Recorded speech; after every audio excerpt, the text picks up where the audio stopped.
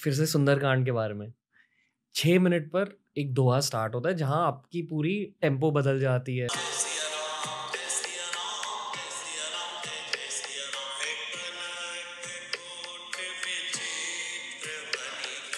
मैं रोया हूँ इतनी बार। ये कमाल है यमन राग का। हमारा जो सुंदरकांड चलता है, वो सा से लेकर सा तक जाता है। श्री राम, चंद्र कृपालु भज मन। हरण दारुण जो मूल में ये लय है, पुरानी रामचरित मानस ऐसे ही गाई जाती थी।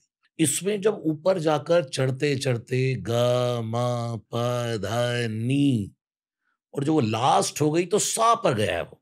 तो वो यमन राग बिल्कुल जैसे आप भारतीय शास्त्रीय संगीत सुनने वालों को बैठ को सुनने के लिए बैठते हो तो वो सा के लिए तरसा देते सामने वाले को। वाह!